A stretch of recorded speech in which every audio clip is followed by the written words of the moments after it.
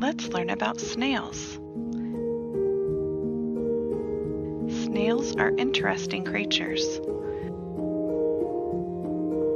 Most snails have spiral shaped shells.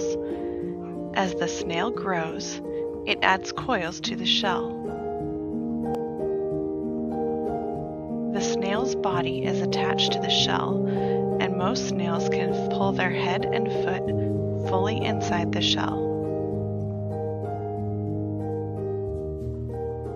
Snails have one or two pairs of tentacles on their head.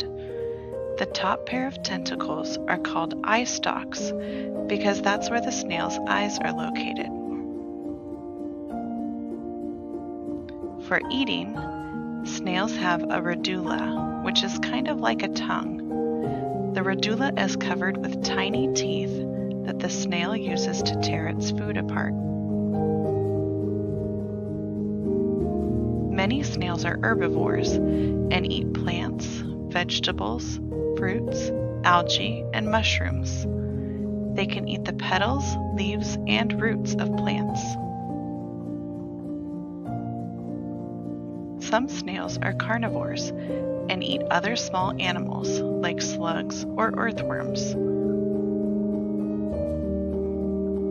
Some snails are omnivores, which eat both plants and animals. The largest land snail is the African giant snail. The largest African giant snail on record was 15 and a half inches long and weighed 2 pounds.